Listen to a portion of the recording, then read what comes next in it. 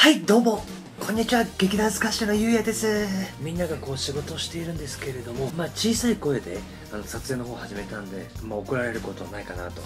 思ってやってるわけですけれども最近ちょっとその首の方がねそのお痛いんですよ。こう音が鳴るんですね。聞こえるかな？ボキって。ボキボキボキボキねビキボキボキボキってなるんでね多分ね最近僕 MacBook Air 11インチを買ったんでこう姿勢がねこれぐらいだったものが今だとこういう感じになってるわけですよ。そのせいでこう目がシャパシャパシャパってしてで首も痛くなっておしまいに頭も痛くなってるっていうことなんじゃないかなっていうことでねまず目薬買ったんですよ。熱さましいとか。根本的にその MacBook Air って低いんでそこが治んないんで僕が買ったのがこちらです。じゃじゃーんわかりますかこちら。でんでんでんででんつってってってってってってうるせえと怒られるかな。こう高い感じでこうタイピングできてあとこういういろんなものをこうつけてねメカニックにできるんでそのメカニック感がこうメカニック。ボヨヨヨヨヨヨうるさいようるさいよお前うるさいぞ。いや大きい声出したら達也さん怒っちゃったんでちっちゃい声でねやろうと思ってボヨヨヨヨヨヨヨヨヨヨヨヨ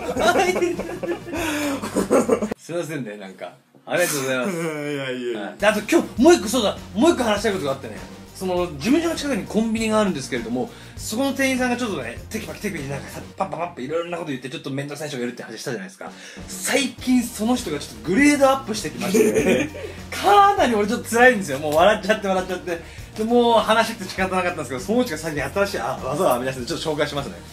まずいろんな会計が終わった後にそこまでもずっとうるさいんですけど最後にこう小銭を右手に持ってレシートをこう挟むんですよ。で一回パンこうパンって叩いた後に「はいどうもありがとうございました」ってこう渡すんですよ。ここピッて伸ばして。でこっち側をこうねこう取ろうとするとこっちの手をくるんと返してこの小銭をですねこのこの縦の状態でこのレシートの上に乗せてねこうローリングしてこうこういういやマジマジマジ